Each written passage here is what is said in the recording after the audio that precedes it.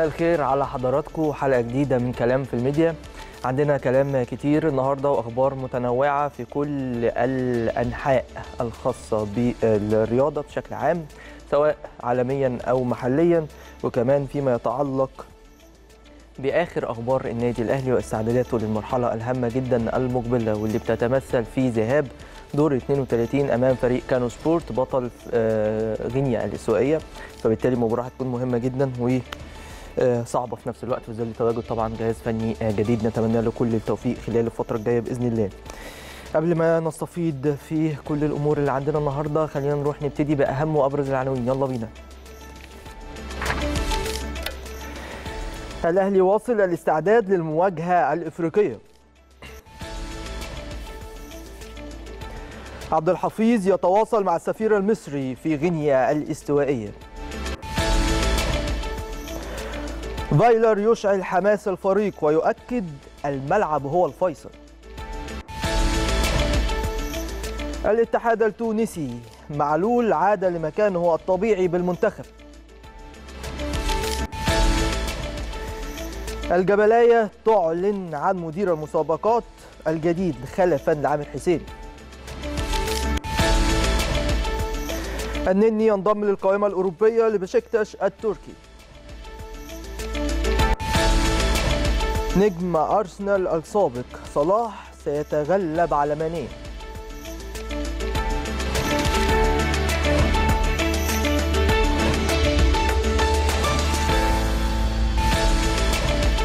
في الحقيقة في أمور عديدة عايزين نتكلم فيها. عايز ابتدي بالاتحاد الأفريقي لكرة القدم واللي أعلن عن طاقم الحكام اللي هيدير مباراة الذهاب ما بين الأهلي وكانو سبورت. بطل غينيا الاستوائية مباراة الذهاب هناك إن شاء الله بإذن الله يوم 14 في ذهاب دور 32 لكن ده شيء مهم جدا عايز أتكلم فيه. طيب قبل ما نتكلم فيه خلينا نروح ناخد شريف شعبان على التليفون زميلنا العزيز ومراسل قناة الأهلي عشان يقول لنا آخر أخبار الفريق النهارده. إيه يا شريف؟ مساء الخير عليك. حضرتك يا زميل أمير تحياتي ليك وتحياتي لكل مشاهدي قناه الأهلي في كل مكان. طمنا الأخبار عندك إيه؟ والإستعدادات ماشية إزاي يا شريف؟ يقول لك إن التمرين بدا في الخامسة مساء ويمكن كان حريص أسطورة النادي الأهلي الكابتن الكبير الكابتن محمود الخطيب يحضر جزء كبير من التمرين يطمئن نفسه على سير التمرينات ويمكن لقى قبول كبير لدى لاعبي النادي الأهلي يمكن لما بقى نجم في حجم كابتن محمود الخطيب قاعد يتفرج على التمرين.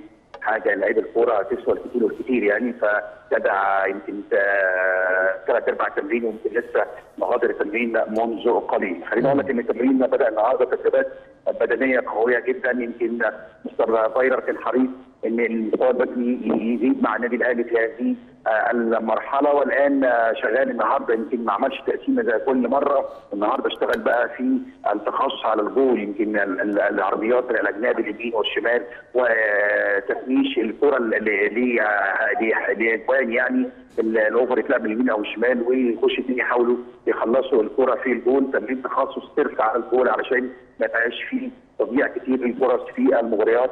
المقبلة على الجانب الآخر تدريب الحراس تمرين قوي جدا جدا جدا.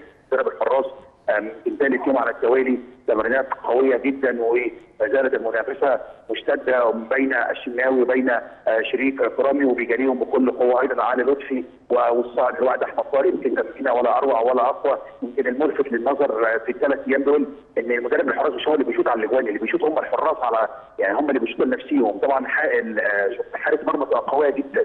فهو الراجل عاوز أقوى مدى للشوطة عشان تبقى يعني زي المباريات بالظبط. فأنا لفت نظري هذه الجزئية وفعلا أما الشناوي بيشوط على الشريف أو العكس أو علي لطفي بيشوط تبقى شوطة قوية جدا مسافة قريبة جدا فبيقدر الحارس يتعامل معاها أكنها في الماتش بالظبط. فده لفت لفت نظري في آخر ثلاث أيام. في حاجة مهمة جدا يمكن الصبح قريت أو سمعت في السوشيال ميديا ان مستر فايلر طلب تغيير ارضيه الملعب طلب يلعب يعني طب ده مهم مهم قوي الكلام ده يا شريف. طمنا على أرضية الملعب لأن في تساؤلات عديدة في الحقيقة الناس بتسأل عن أرضية الملعب الخاصة بمختار التتش بالتحديد. هل الارضيه سيئة يعني ولا إيه؟ أنت شايف قدامك يعني قول لنا. بص يعني كلام عاري كلام من الصحة. يعني. حتى لو راجل كان طلب مين محدش هيعرف أصلا يبقى في التواليف كلام ما حصلش كلام غير صحيح بالمرة الراجل ما طلبش ولا قال أنا عاوز أغير ملعب التمرين ولا عاوز أروح ملعب تاني ولا غير ملعب التتش. ما حصلش الكلام ده خالص خالص خالص. أرضية ملعب التتش لو مشيت عليها مش هتلاقي فيها نقرة لو مشيت عليها مش هتلاقي فيها حفرة ما فيهاش مطبات الأرض مستوية لأقصى درجة. آه أنا عرفت علمت كمان إن في معدات الأهلي تعاقد معاها وهي موجودة في خلال أسبوع من من من الآن. بطمنك وبطمن كل جماهير النادي الأهلي. يا جماعة بلاش طلع إشاعات. الراجل ما طلبش تغيير الملعب. الملعب على أعلى أعلى مستوى. ده ملعب تدريب أنا أنا بص زي الأمير أنا أنا دخلت كتيرة ولا كنت في ملاعب كتيرة. ملعب التتش اللي الناس بتتكلم عليه دوت بيفوق استاد داخل مصر كتير جدا. ده ملعب تدريب في الأول وفي الآخر. ولكن أنت الملعب لو مش عليه مش هتلاقي فيه أي مشكلة خالص. واكبر دليل الحمد لله الحمد لله الحمد لله ما فيش اصابات وده أكبر دليل إن الملعب سليم الملعب ما فيهوش حاجة. فما أعرفش الاشاعه بتطلع عليه الراجل ما طلبش والراجل ما قالش أي حاجة خالص. والتمرينات شغالة في ثالث يوم النهارده يمكن على حاجة رائعة الكل بيثبت ما حدش بيشتكي ما حدش بيتكلم. الراجل ما اتكلمش عن الملعب خالص. الراجل على طول كلامه كله مع اللاعبين. حريص إن هو يتفرج على أكبر قدر من اللاعبين. حريص يشوف يستخدم كل لاعب علشان خاطر يقدر يقيمه يقيمه في التمرينات ويشوفه ويتفرج عليه في الخاص بكل لاعب يشوف احصائياته ويشوف كل حاجة. الراجل شاغل نفسه بالكلام ده كله. بدأ كمان يتفرج على مباريات كاب سبورت. بدأ يجيب شرايط المباريات ويتفرج عليهم. يشوف المنافس اللي هيلعبه عامل إزاي. الكل هنا شغال. الكل حريص إن الفترة القادمة بإذن الله تكون كلها انتصارات تكون كلها بطولات بإذن الله. آخر الجديد فيما يتعلق بالمصابين يا شريف. المصابين زي ما قلت لك محمد محمود وسعد سمير ورامي ربيعة وكريم نسبة التأهيل مستمر وبالفعل زي ما قلت امبارح غلطان محمود وحيد فعلا بيجري. مرحلة التأهيل فعلا ما لفتش نظر امبارح. هو النهارده بيجري النهارده حوالين الملعب بتتكلم في يومين بكتير قوي يعني يعني محمود وحيد لسه لسه متأثر بإصابة الكاحل. آه مظبوط. والنهارده بدأ يجي النهارده حوالين الملعب. مفيش زكه مفيش حاجة فالدنيا كويسة معاه. في خلال يوم بإذن الله هيكون موجود في التمرين. محمد محمود وسعد سمير في المراحل النهائية. رامي ربيعه محتاجين وقت شوية. كريم محتاجين وقت شوية. بإذن الله بإذن الله بتتكلم في أكتر حاجة شهر وهتلاقي بس باذن الله داخل فريق الكورة بالنادي الأهلي. بإذن الله يا شريف أنا بشكرك يا شريف شكرا جزيلا على هذه المداخلة المهمة والمميزة من زميلنا العزيز شريف شعبان مراسل قناة الأهلي في الحقيقة طمنا بشكل كبير جدا على الفريق طمنا على الإصابات كمان وعلى حالة أرضية استاد مختار تتش في الحقيقة في ناس كتير بتسأل على الجزئية دي وتأكدوا لو الأرضية محتاجة تطوير هي ممكن تكون كويسة بس وارد إن هي برضه تكون محتاجة تطوير. لا محتاجة تطوير الناس أكيد هتشتغل على الموضوع ده. لكن مفيش تفكير إن يتم نقل تدريبات الفريق الأول لكرة القدم من نادي بالنادي الأهلي من مقر النادي بالجزيرة. ليه؟ عشان المركز الجديد أو جهاز الكورة ومكانه الجديد أسفل المدرجات. الجديدة باستاد مختار تتش متوفر فيه كل الأمور اللي بيحتاجها الفريق الأول بيحتاجها الجهاز الفني وبالمناسبه مستر فايلر أشاد بشكل كبير جدا بهذه التجهيزات المميزة جدا في مقر النادي الأهلي بالتتش. طيب كنت بتكلم قبل ما ناخد شريف كنا بنتكلم على حكم المباراة مباراة الأهلي وكانو سبورت بطل غينيا الاستوائيه. الاتحاد الأفريقي كلف الحكم الغيني خلي بالك هو من غينيا مش من غينيا الاستوائيه طبعا مش هينفع يبقى من غينيا الاستوائيه لكن هو حكم غيني آه اسمه أحمد سيكو توري بإدارة مباراة الأهلي أمام كانو سبورت والتي ستقام في غينيا الاستوائيه يوم 14 سبتمبر الجاري. مهم يعني مهم بجهازه بالمساعدين بتوعه والكلام من ده. لكن في حاجة لفتت نظري قبل الحلقة في الحقيقة وهو فيما يتعلق بتقرير جريدة الشروق واللي قالت إن في تقارير بتشكك في ذمة حكم مباراة الأهلي وكانو سبورت. لا نقف هنا بقى. آه المباراة مش هتبقى بدرجة الصعوبة الكبيرة. هي طبعا مباراه في بطولة دوري أبطال أفريقيا مباراة صعبة. وهي بالنسبة لنا إحنا صعبة شوية لأن هي بداية جديدة للنادي الأهلي من خلال جهاز فني جديد ومشوار نفسنا إن إحنا نوصل فيه للآخر وناخد البطولة. لكن لازم نقف عند الموضوع ده لأن فعلا جريده الشروق بتقول إن أثارت عدة تقارير صحفية في وقت سابق. الشكوك حول ذمة الحكم وسط تلميحات بمحاباته للمنتخب النيجيري تحديدا. وده من خلال صحيفة اسمها سوكر نيجيريان واللي ألقت الضوء على عدم نسيان جماهير زامبيا لخطأ الحكم الفادح عندما ألغى هدفا لمنتخب بلادهم أمام نيجيريا في تصفيات الحاسمه المؤهلة لكأس العالم 2018 غير كده غير كده كمان ده بعد طبعا الاعادات التلفزيونية أثبتت إن هو أخطأ. يعني مرة أخرى احتسب الحكم هدفا للمنتخب النيجيري أمام نظيره التونسي خلال التصفيات المؤهلة لكأس الأمم الأفريقية 2019 حيث أثبتت الإعادة التلفزيونية وجود مسجل الهدف في موقف تسلل. فالموضوع مقلق وفقا لموقع كمان جول العالمي اللي نقل عن شبكة ويو سبورت أن الحكم تم ترحيله العام الماضي. إلى بلاده من بطولة كأس كوسوفا بعد تعامله المثير للجدل مع مباراة زيمبابوي ضد مدغشقر. فموضوع غريب شوية. الاتحاد الأفريقي الأمور ماشية إزاي؟ يعني تحديد لجنة الحكام هناك التفكير عندهم إيه؟ هل هم كمان هيطوروا؟ لأن الحكام الأفارقة بشكل عام سيبهم من الحكام المصريين آه الحكام المصريين محتاجين تطوير وإحنا بنتكلم كل يوم في الموضوع ده. لكن حكام أفريقيا بقى بشكل عام بنشوف فضايح في الحقيقة كتير. كلنا طبعا فاكرين لامبتي الحكم اللي تم شطبه أصلا. وإيه بعد ما إدى الكاس للترجي أو أهل الترجي على حساب ال بطولة دوري أبطال أفريقيا 2011 على ما أتذكر. وبعد كده في تصفيات كأس العالم ماتش ما بين جنوب أفريقيا والسنغال وماتش اتعاد وثبت إن الحكم ده كان يعني آه مرتشي يعني. طبقا طبعا للاتحاد الأفريقي يعني وتم شطبه. فلو الأمور بتتشابه ليه يبقى في لغط؟ يعني ليه بنختار حكام ما يبقوش مميزين أو أو كمان عليهم كلام كتير يعني؟ فأتمنى الاتحاد الافريقي يتجنب كل هذه الأمور وان يدي فرصة حتى للحكام الجدد يثبتوا نفسهم في أدوار تمهيدية زي دي. دور 32 ممكن يقول لك الماتش سهل وأهلي نادي كبير فريق كانو سبورت لسه فريق حديث الإنشاء انشا في 2014 وكلام من ده. فخلاص نديله الماتش ده خلاص. لا لازم يبقى في حسابات دقيقة جدا بخصوص الحكام في أي مباراة بشكل عام. فمش عارف هنتابع الموقف ونراقب أداء الحكم في مباراة الأهلي وكانو سبورت وإن شاء الله نتمنى له يكون موفق. لكن دي تقارير كان لازم نتطرق ليها قبل هذه المباراه وإن شاء الله بإذن الله الأمور تبقى كويسة. طيب عندي كلام كتير لسه هنتكلم فيه وأخبار كتيرة متعلقة بالنادي الأهلي سواء في الصحف أو في المواقع. هنتكلم عن كل هذه الأمور بعد الفاصل.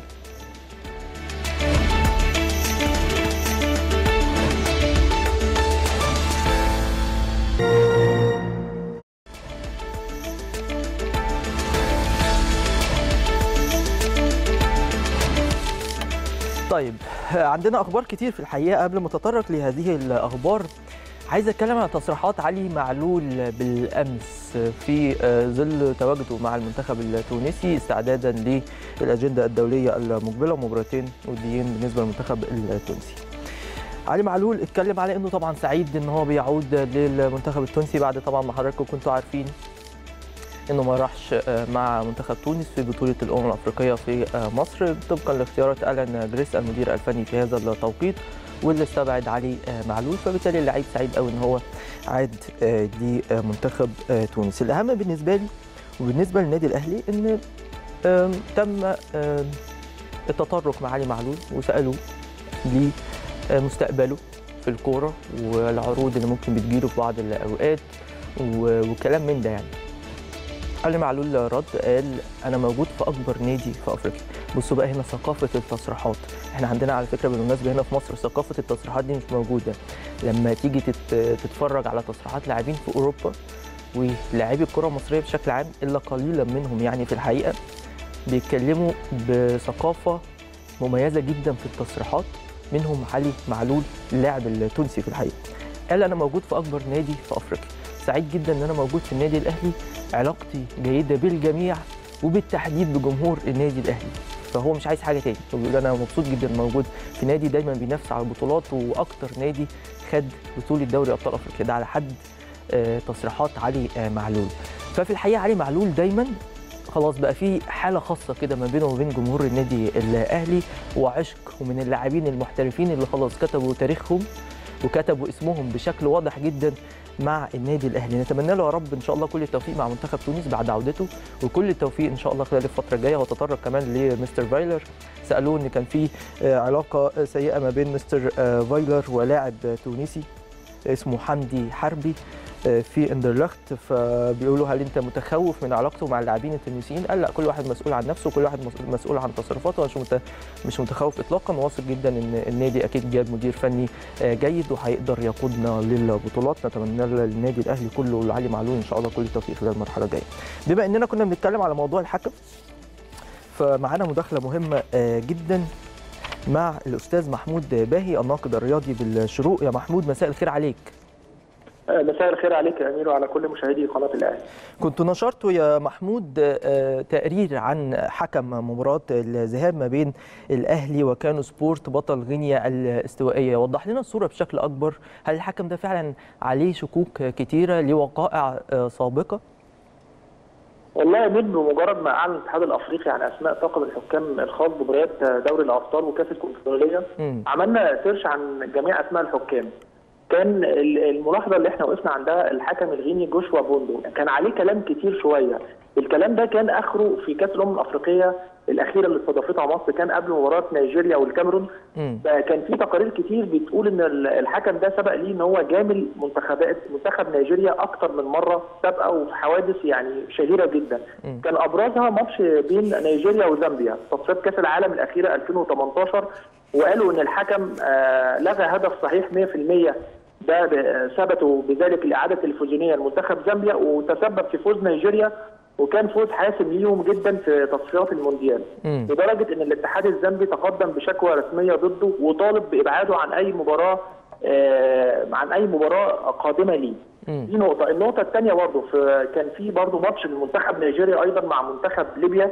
تمام؟ ومنتخب نيجيريا كسب 3 2 وكان برضو المباراة دي كانت فاصلة في تأهل منتخب نيجيريا لكأس الأمم اللي استضافتها مصر وثبت إن الجول اللي الجول اللي سجله منتخب نيجيريا برضو كان من تسلل.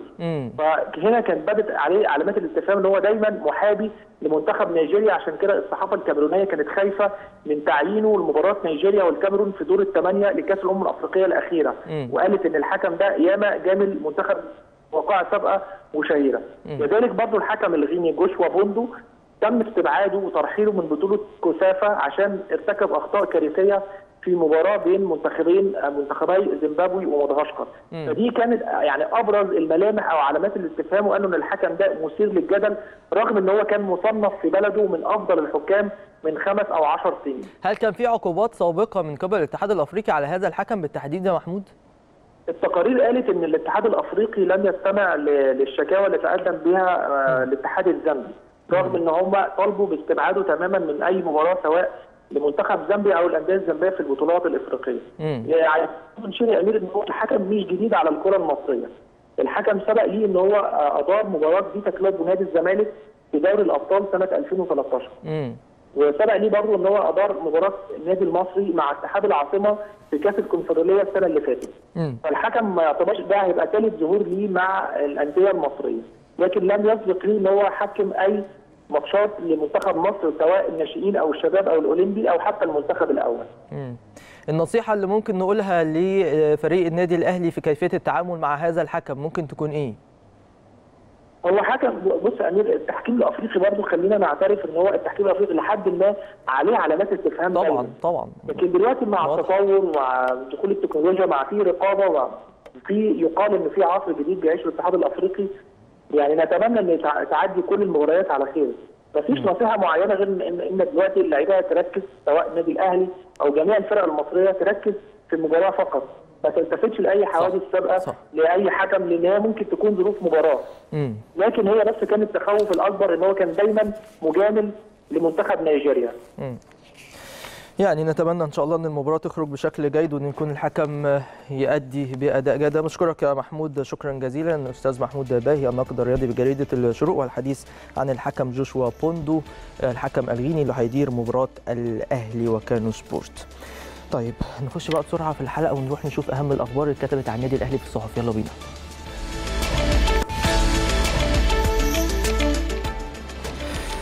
الأخبار. فرمانات فايلر في الأهلي. السويسري للاعبين في أول مران أكره الاستهتار تصحيح الأخطاء فورا والفرصة للجادين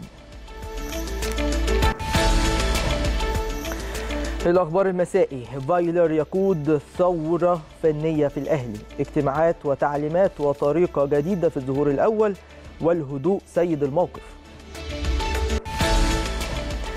اليوم السابع الأهلي يجهز 60 مليون جنيه لصرف مستحقات ومكافآت للاعبيه فايلر يطلب ملخصات جيرالدو وقمصان يقدم ثلاثة تقارير للخواجة قبل مواجهة بطل غينيا. الأهرام فايلر يفاجئ لاعبي الأهلي. أعرف كل شيء عن عنكم وأطالبكم بالالتزام. الفريق يواصل الاستعدادات لمواجهة كانو سبورت الغيني بدوري الأبطال. روز اليوسف أربع عقبات تواجه فايلر مع الأهلي.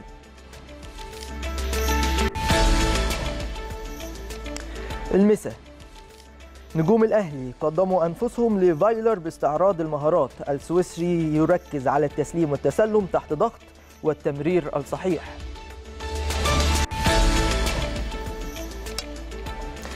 الجمهورية أزارو باقم في. في الجزيرة. الأهلي في غينيا الأربعاء وفايلر يدرس الفريق. الوفد. الأهلي يجدد الثقة في لجنة التخطيط ويمنح فايلر الصلاحيات ك... الدستور. الفريق يسافر إلى غينيا 11 سبتمبر لمواجهة كانو سبورت في أبطال إفريقيا. تخطيط الأهلي تعرض ثلاثة أجانب على فايلر بعد فشل صفقة موليكا. الشروق فايلر يطلب وديتين للأهلي قبل السفر إلى غينيا. المدير الفني يطلب الاطلاع على لائحة الفريق ويسأل عن معلول وأزارو وسليمان. المصري اليوم فايلر يظهر العين الحمراء للاعبي الأهلي مبكرا. المدرب للاعبين الانضباط سر المشاركة ولا أعترف بالأسماء. الغيابات تسبب صداعا للمدير الفني ومؤمن يستكمل علاجه في ألمانيا.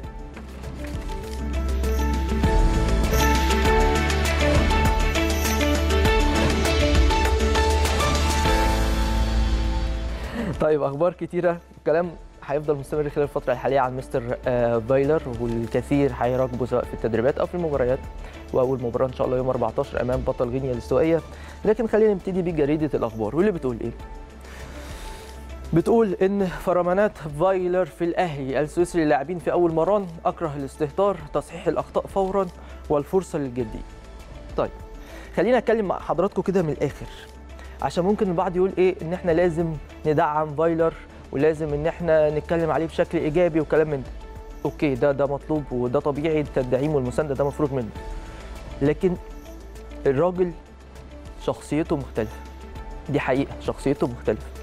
الكلام من الناس كلها اللي حضروا امبارح المؤتمر الصحفي المقربين من تدريب النادي الأهلي الناس جوه شايفين ان الراجل عنده شخصية مختلفة شخصية قوية بإذن الله هتنجحه مع النادي الأهلي. إيه اللي هيبقى ناقص بس؟ التوفيق. هو ده اللي هيبقى ناقص.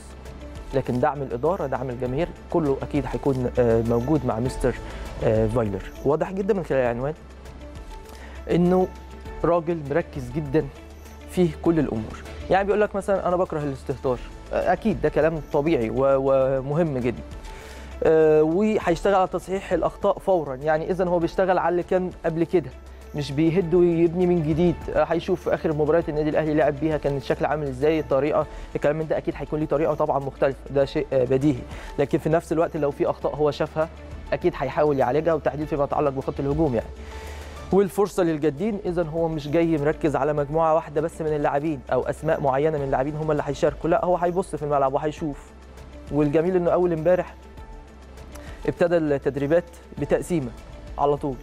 عايز يقيم هو بعينه هو عينه هو هتبقى مختلفة أكيد. وكل مدير فني بيبقى ليه قناعاته ووجهة نظره يعني ده شيء طبيعي جدا. لكن آه من خلال رؤيتهم تبعته لمستويات اللاعبين في المران والتقسيمات اللي بيعملها كل يوم فأكيد هيقيم كويس وهيختار الأنسب إنه يلعب ويشارك بإذن الله نتمنى له كل التوفيق. عايز أروح للأخبار المسائي؟ الأخبار المسائيه بتتكلم على إن فايلر يقود ثورة فنية في الأهلي. اجتماعات وتعليمات وطريقة جديدة في الظهور الأول والهدوء سيد الموقف. دايما بيبقى فيه هدوء في النادي الأهلي بشكل عام.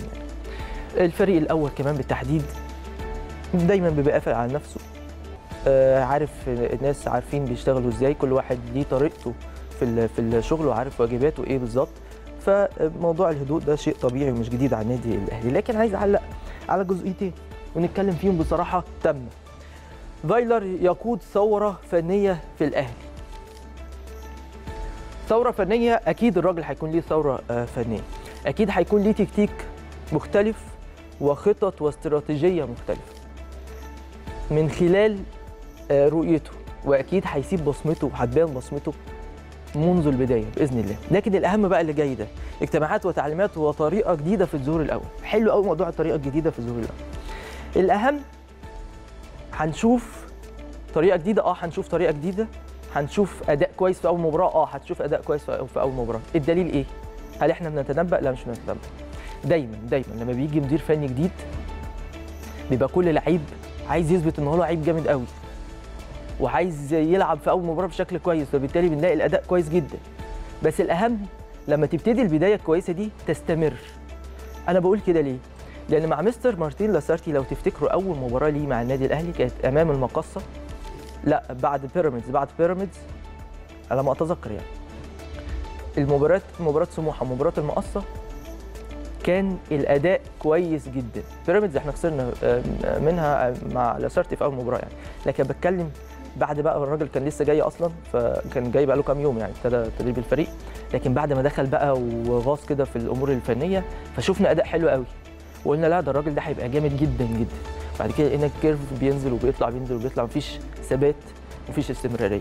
فعشان كده إحنا بنتكلم بنقول إيه؟ إن الأهم آه هنشوف بإذن الله بداية كويسة. وأداء جيد وبإذن الله تكون نتيجة جيدة إن شاء الله إيجابية هناك في غينيا الأستوائية. لكن الأهم إن إحنا نستمر. لعيبة النادي الأهلي تستمر على هذا الأداء وعلى هذا الحماس. الحماس دايما بيبقى عندهم موضوع مفروغ منه. لكن دايما لازم يبقوا عارفين إن هم عليهم مسؤولية كبيرة قوي قوي قوي لأن أكبر كم من الجماهير المصرية هو جمهور النادي الأهلي. أكبر عدد جمهور النادي الأهلي في مصر. بإقرار الجميع طبعا.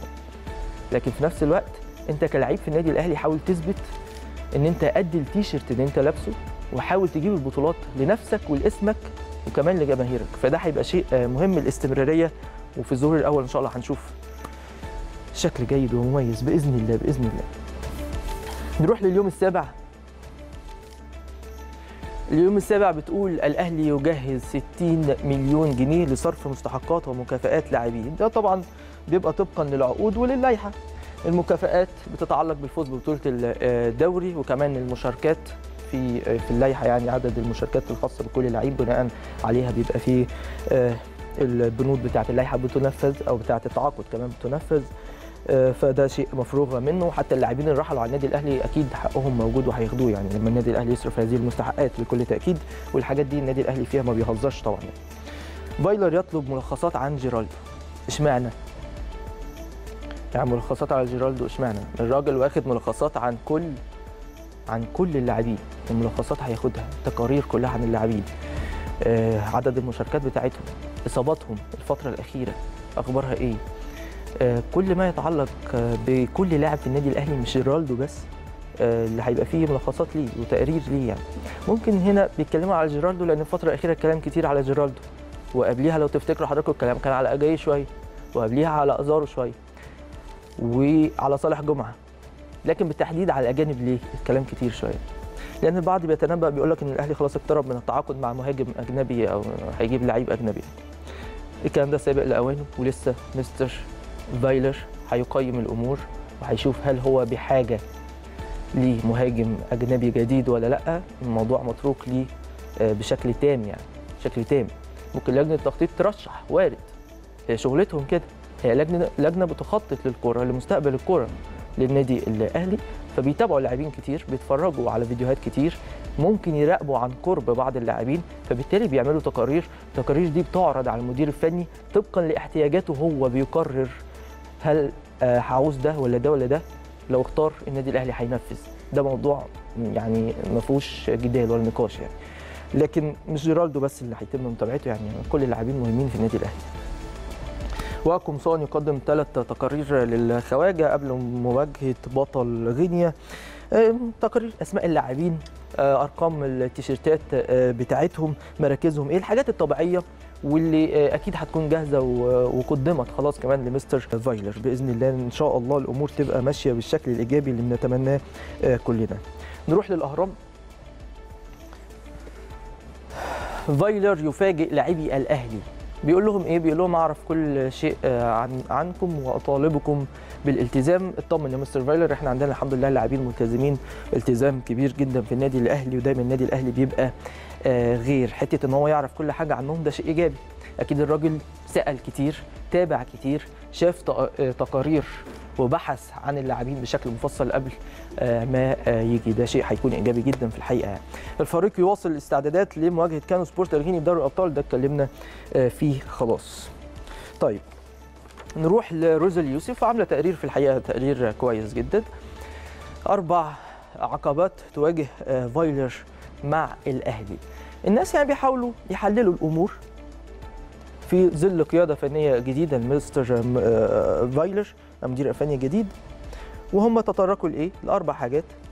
الشيء الأولاني وهو فيما يتعلق بضيق الوقت.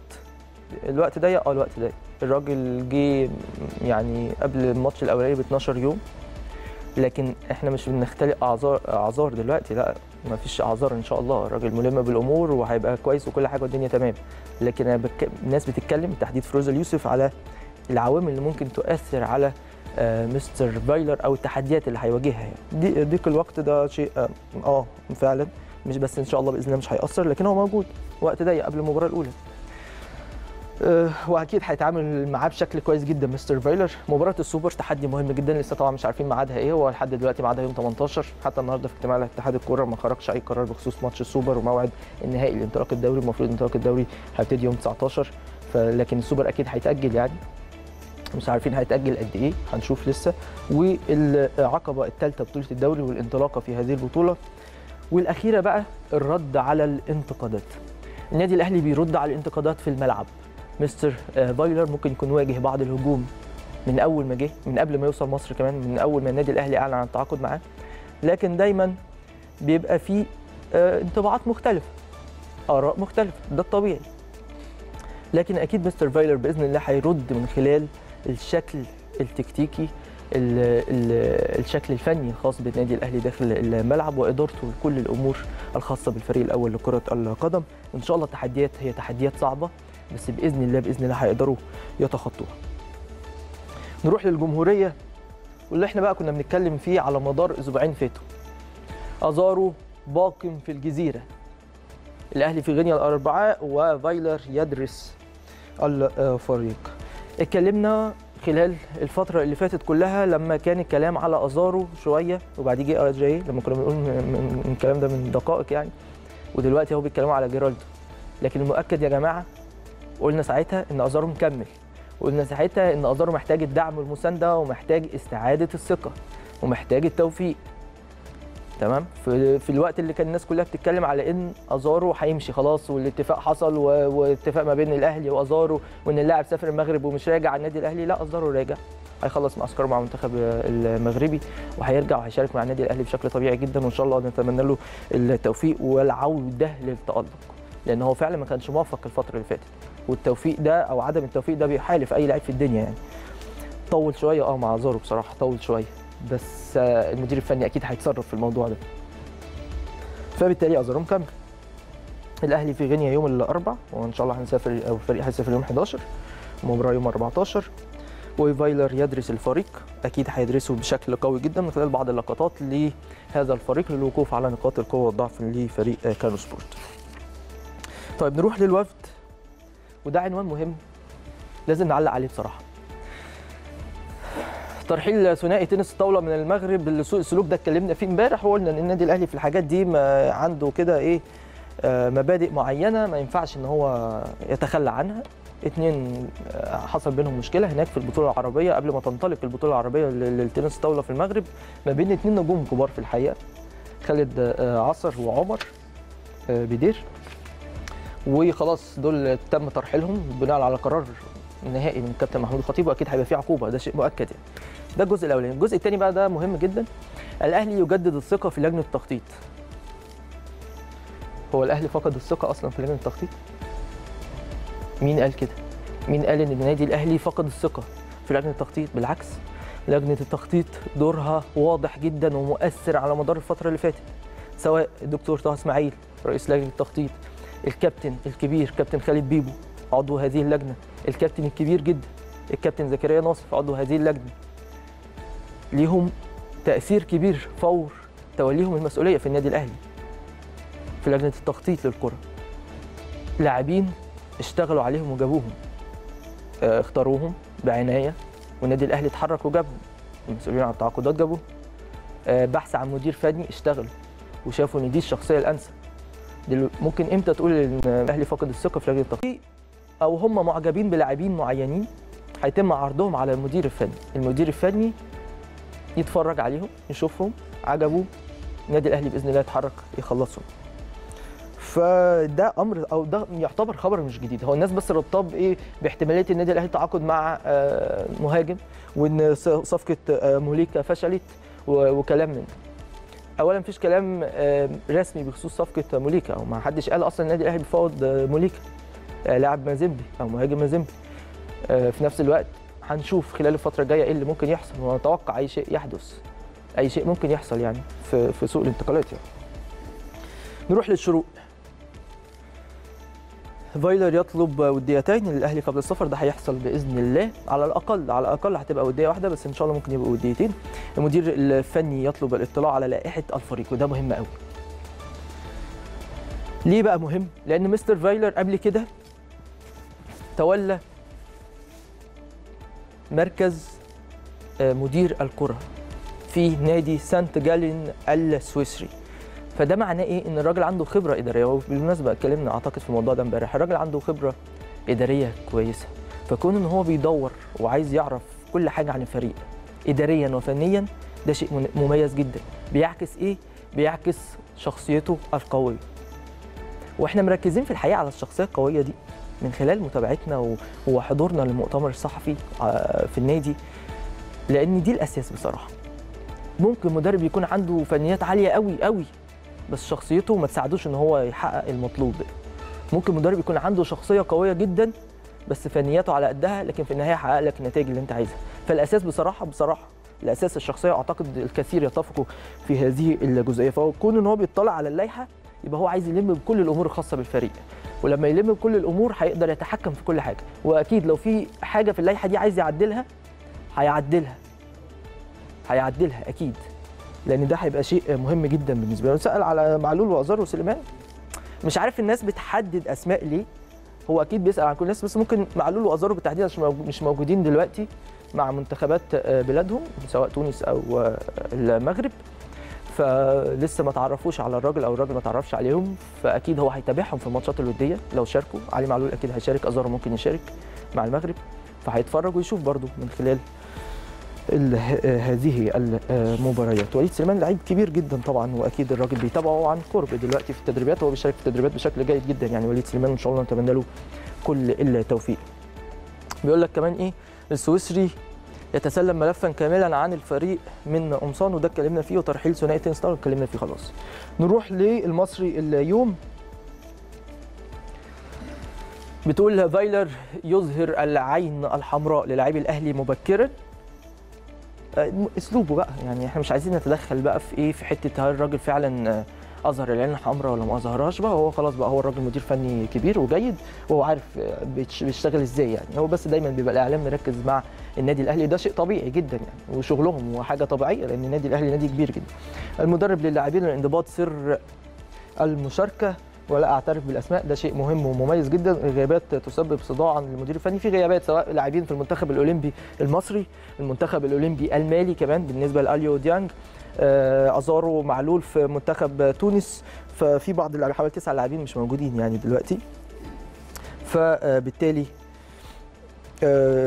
أكيد بيكون بيفكر. هو كان يتمنى طبعا أي مدير فني كان يتمنى اللاعبين كلهم يبقوا قدامه لكن هو هيتابع هؤلاء اللاعبين في مبارياتهم مع منتخبات بلادهم خصوصا المنتخب المصري كمان. عندنا ماتشين مع السعودية المنتخب الأولمبي يعني. فعندنا عدد جيد من اللاعبين في المنتخب الأولمبي فهيشاركوا فهنشوف الراجل أكيد هيتفرج عليهم. ممكن وارد إن هو يروح سواء الاستاد ما اعتقدش هيروح السويس لأن الماتش الأولاني في السويس يوم 7 ممكن يحضر المباراة اللي في استاد السلام ويتفرج على اللاعبين. حسب الظروف الله أعلم ساعتها الأمور هتمشي. إزاي؟ دي أخبار الأهلي في الصحف. لسه في أخبار للأهلي في المواقع. هنروح نتكلم عنها بس بعد الفاصل.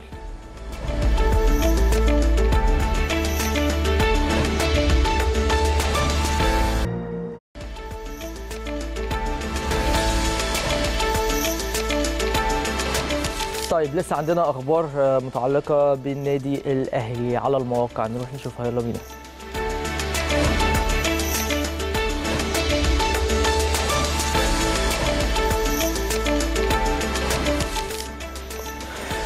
الوطن سبورت. فايلر يشعل حماس لاعبي الأهلي. الملعب هو الفيصل.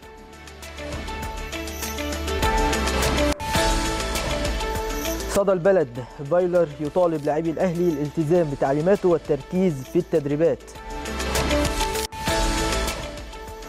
سوبر كورة مستشفى الأهلي. فايلر يطمئن على حالة المصابين والبرامج التأهيلية. الكابتن. فايلر يحسم مصير التعاقد مع المهاجم السوبر بعد تقرير الثلاثي المرشح للانضمام. فيتو. عبد الحفيظ يتواصل هاتفيا مع سفير مصر في غينيا الاستوائية. الفجر الرياضي. الأهلي يتخلى عن الطائرة الخاصة أمام كانو سبورت. مبتدأ. معلول ألعب لأكثر فرق إفريقيا تتويجا وسعيد بالعودة لعائلتي في المنتخب. في الجول الاتحاد التونسي معلول عاد لمكانه الطبيعي في المنتخب.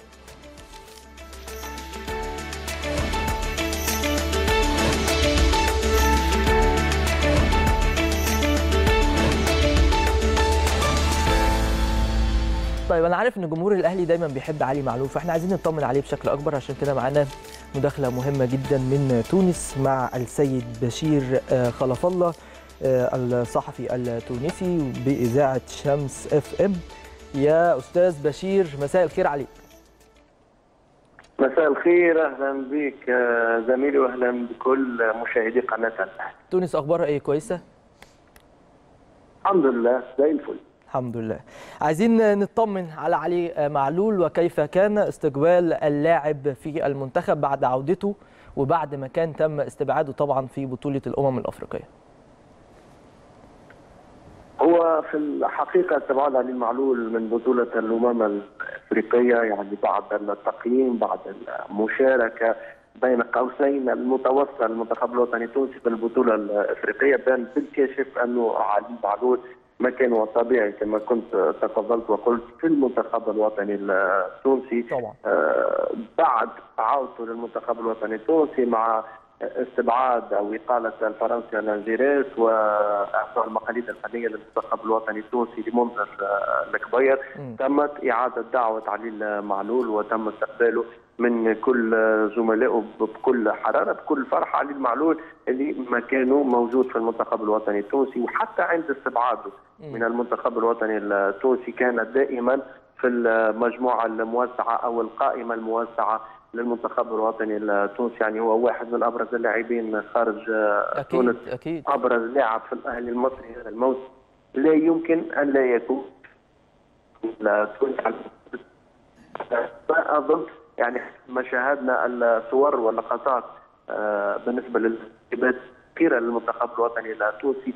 تحدث كثيرا إلى الناخب الوطني الجديد منذر الكبير وعلى ما يبدو سيكون أساسي في المباراة القادمة للمنتخب الوطني التونسي ضد منتخب موريتانيا.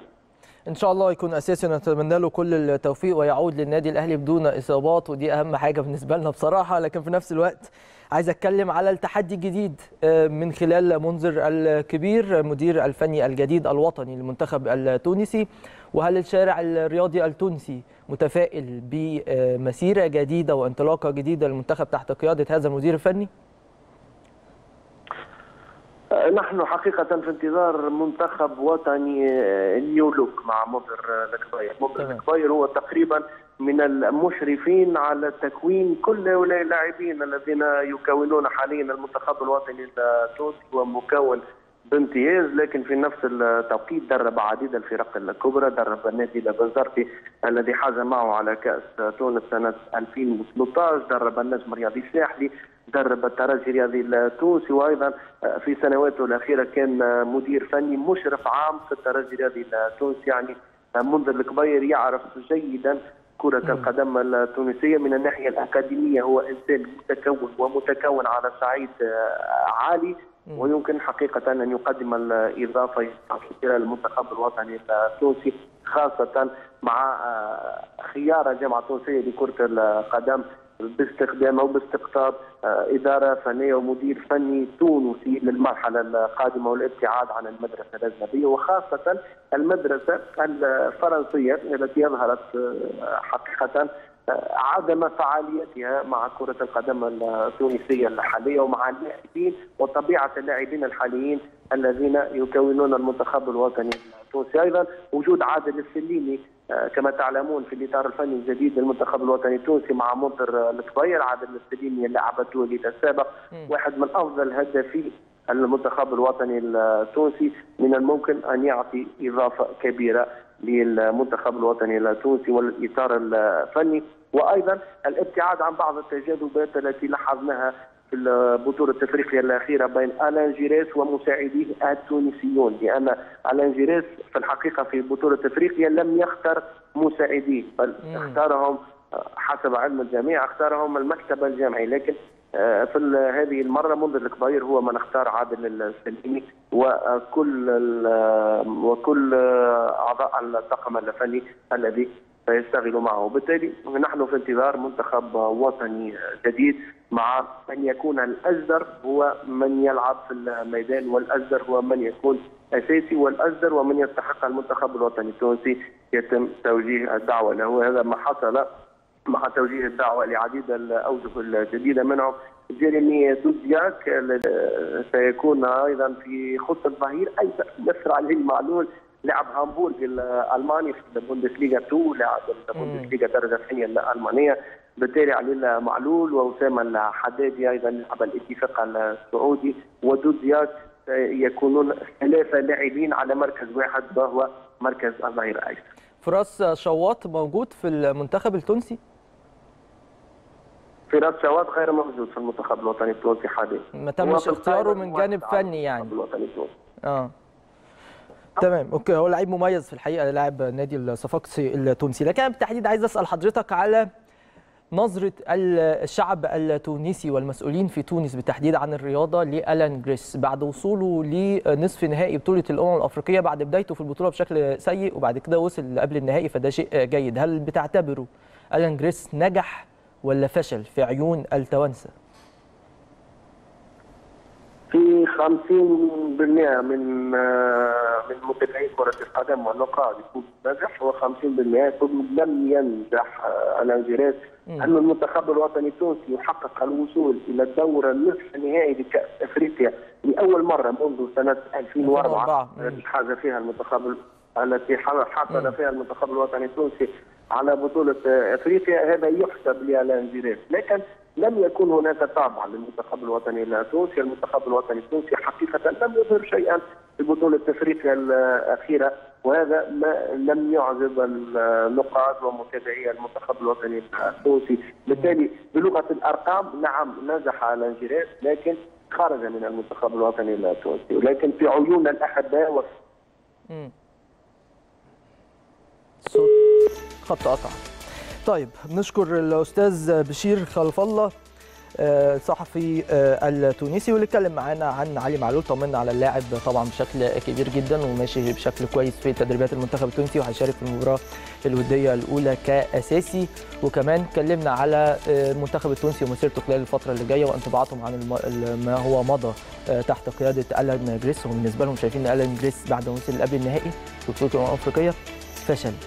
إحنا بالنسبة لنا بقى أجيري وإحنا على ملعبنا ده يبقى إيه؟ بصراحة حاجة صعبة جدا كانت يعني. لكن في العموم خلينا نروح نتكلم على أخبار الأهلي في المواقع ونعلق عليها. نبتدي بسوبر كور بتقول مستشفى الأهلي بتتكلم على إن فايلر يطمئن على حالة المصابين والبرامج التأهيلية. كل التقارير هتبقى قدام الرقم يعني في الحقيقة. عندنا مصابين زي محمد محمود خلاص بيتعافى. سعد سمير شبه تعافى بشكل نهائي. كريم ندفد قدامه تقريبا شهر ويتعافى مؤمن زكريا لسه قدامه شوية 3 4 شهور لكن التقرير برضه هتبقى عنده. عندك كمان رامي ربيعه رامي ربيعه اللي عنده شد خفيف في العضلة الخلفية قدامه أسبوعين بالكثير إن شاء الله يكون متواجد في التدريبات الجماعيه لكن كلها تقارير بشكل طبيعي جدا ومنطقي إن هي تكون قدام مستر جرينيه فايلر عشان يلم بأكبر قدر ممكن من الأمور داخل القلعة الحمراء. إن شاء الله بإذن الله يكون موفق. نروح لموقع الكابتن. بتطرقوا برضو لنفس الموضوع. إحنا لازم نعرض على حضراتكم لازم نقول لحضراتكم مواقع كتبت على النادي الأهلي وبنحاول نوضح بقدر المتاح إن إحنا نقوله. فايلر يحسم مصير التعاقد مع المهاجم سوبر بعد تقرير الثلاثي المرشح للانضمام. واضح إن كذا موقع وكذا جورنال النهارده كتب فيه هذه القصة وده بيبقى في الغالب استنتاج. لأن زي ما قلت لحضراتكم البعض بيقول إن ممكن النادي الأهلي يتعاقد مع مهاجم. هنشوف خلال الأيام اللي جاية وهنشوف هل النادي الأهلي هيتعاقد فعلا مع مهاجم ولا مش هيتعاقد مع مهاجم. ده هيبقى طبقا لإيه؟ تاني طبقا لإيه؟ للرؤية الفنية لمستر فايلر هو اللي هيقرر.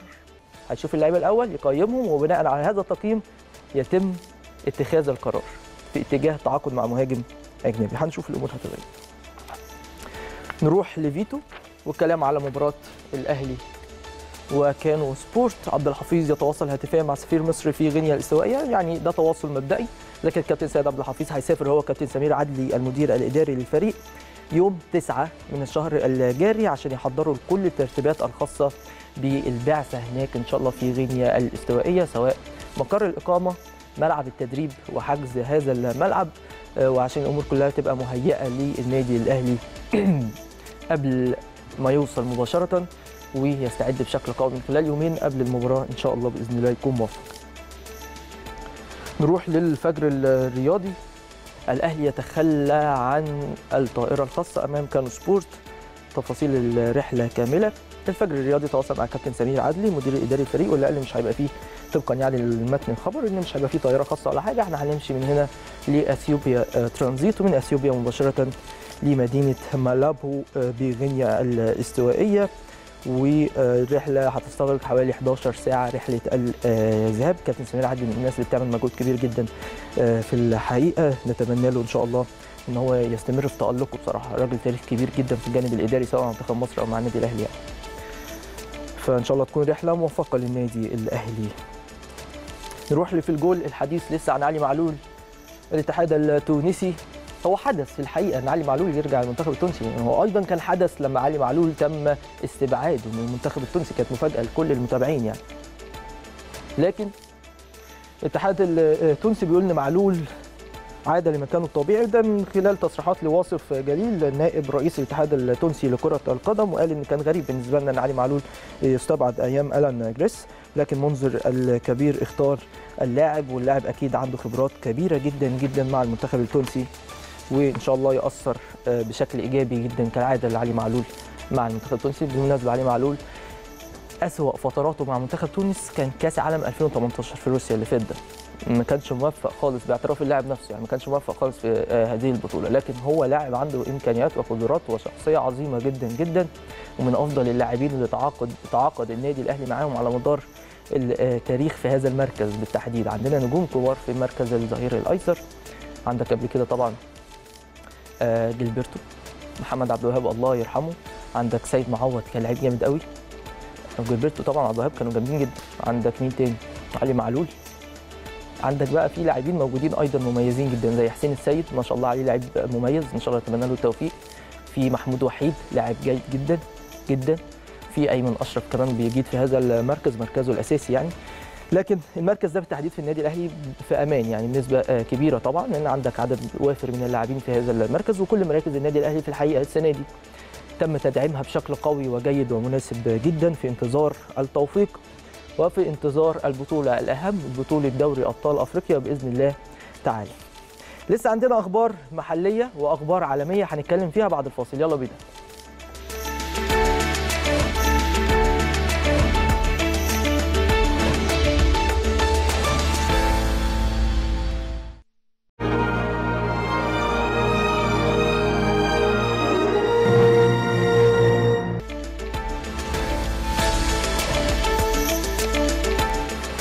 الأخبار المحلية والعالمية. نروح نشوفها. صدى البلد. الجبلايه حسام الزناتي مديرا للمسابقات خلفا لعامر حسين والشريعي للشؤون المالية. سوبر كورة. عضو خماسية اتحاد الكرة يعتذر عن عضوية منطقة الجيزة لعدم التضارب.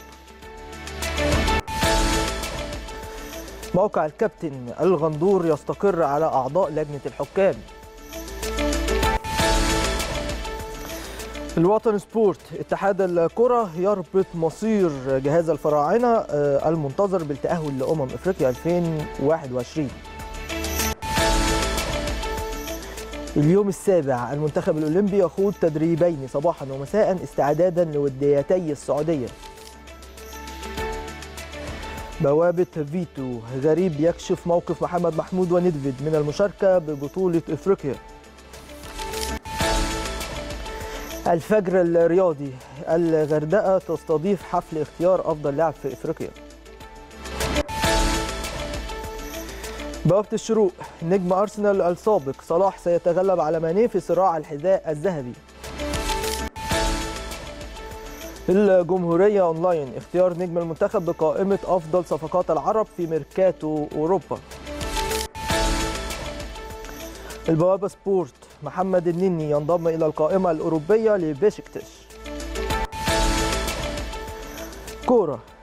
عملاق جديد يقتحم صراع التعاقد مع إريكسون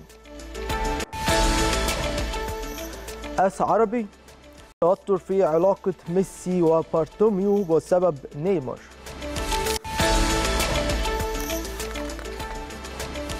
سبورت 360 جماهير إنتر ميلان هتافات القرود ضد لوكاكو ليست عنصرية.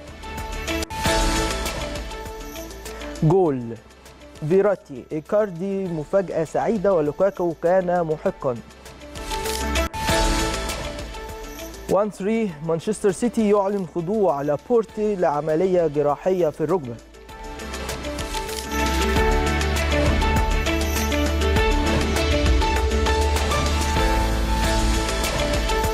نبتدي بصدى البلد. صدى البلد بتتكلم على قرارات اتحاد الكرة اليوم واللي بتتمثل في أكثر من قرار حوالي ثلاث قرارات بالتحديد. وبتقول ان حسام الزناتي مدير المسابقات خلف العامر حسين والشريعي للشؤون المالية. طيب لجنة أو اللجنة الخماسية المكلفة بإدارة اتحاد الكرة عينت حسام الزناتي اللي هو كان مساعد محمد فضل في بطولة الأمم الأفريقية مساعد مدير هذه البطوله اللي كانت في مصر 2019 عينوه مديرا لإدارة المسابقات بالاتحاد المصري لكرة القدم خلفا لعامر حسين الذي تم أو تقدم باستقالته خلال الأسابيع الماضية. وكان في اتجاه ان مازن مرزوق الأستاذ مازن مرزوق هو اللي يجي مكان الحاج عامر حسين لكن واضح إن ما فيش اتفاق تم فتم اللجوء لحسام الزناتي. عنصر من عناصر الشباب في الحقيقة وده مطلوب إن أنت يعني تدخل شباب في الجانب الإداري تديهم الفرص والله ممكن ينجحوا جدا جدا. أكتر من حد يكون عنده خبرات. آه طبعا الخبرات مهمة لكن دايما عنصر الشباب مهم فاختيار نتمنى بإذن الله إن هو يكون جيد. وأكيد حسام الزناتي خد خبرات إدارية مميزة من خلال مساعدته بالكابتن محمد فضل في إدارة بطولة الأمم الأفريقية في مصر 2019 البطولة اللي كانت من شهرين للأسف اللي إحنا مش عايزين نفتكرها بسبب اخفاق المنتخب فقط بسبب اخفاق المنتخب كرويا. لكن كتنظيم ما كانش فيه أحسن ولا أجمل من كده بصراحة. قدرنا عملنا بطولة عالية قوي تنظيميا يعني. من ضمن القرارات كمان تعيين سيد بخيت مقررا للجنة المسابقات كما تقرر تعيين محمد الشريعي المدير المالي السابق بالاتحاد الأفريقي لكرة القدم مديرا ماليا جديدا للاتحاد المصري لكرة القدم وأحمد محب مستشارا ماليا للاتحاد. وتم اعتماد أحمد توفيق حافظ وسعيد حنفي كمتطوعين في اللجنة القانونية باتحاد الكرة للتعامل مع القضايا الخارجية والاتحاد الدولي لكرة القدم. بس أوكي التعيينات أوكي كويسة. نتمنى لهم كل التوفيق إن شاء الله في كل واحد في مكانه إن هو يؤدي بشكل جيد وإن هو يدير بالشكل المناسب. وحسام بالتحديد الزناتي نتمنى له إن هو يعني يساهم في إيجاد مسابقة من غير تعديلات كتير لأن وارد ان غصب عن الناس يعني يبقى في تعديلات يعني. لأن في أفريقيا هنا السفر بيبقى بعيد بالنسبة للمشاركات الأفريقية أهلي زمالك بيراميدز المصري. فممكن في تأجيلات ليهم. لكن الأهم من كده كمان بعد هذه القرارات ليه اتحاد الكرة النهارده ما أعلنش على ميعاد انطلاق الدوري. أو ما أعلنش مثلا ميعاد بطولة السوبر. بعد المفروض ما هي هتتعدل يعني. طب ميعاد القرعة إمتى؟ الحاجات دي عايزين ننجز فيها شوية لأن المفروض يعني آخر ميعاد عارفين الدوري يوم 19 فإمتى الحاجات دي هيتم حسمها يعني؟ فهنشوف. ممكن يكون بكرة ولا حاجة لاحقا يعني إن شاء الله. نروح لسوبر كورة. عضو خماسية اتحاد الكره يعتذر عن عضوية منطقة الجيزة لعدم التضارب كابتن أحمد عبد الله اعتذر طبعا وده شيء طبيعي إن أنت خلاص أنت موجود في اللجنة الخماسية وتم اختيارك في اللجنة الخماسية اللي هتدير الاتحاد المصري لكرة القدم فبالتالي هو كان موجود عضو في منطقة الجيزة لكرة القدم فاعتذر خلاص وهيتم قبول هذا الاعتذار كإجراء روتيني طبيعي يعني. نروح للكابتن والغندور يستقر على أعضاء لجنة الحكام. الكابتن جمال غندور رئيس لجنة الحكام الجديد خلف خلفا لسمير عثمان اللي قضى حوالي 15 يوم بس كرئيس لجنة المسابقات جه جمال غندور. كابتن جمال غندور استقر على أعضاء اللجنة بتاعته اللي بتتكون من كابتن محمد فاروق الحكم الدولي السابق كابتن ياسر عبد الرؤوف الحكم السابق تامر دري أيضا فهيم عمر بالإضافة لاستمرار كل من وجيه أحمد وعزب حجاج.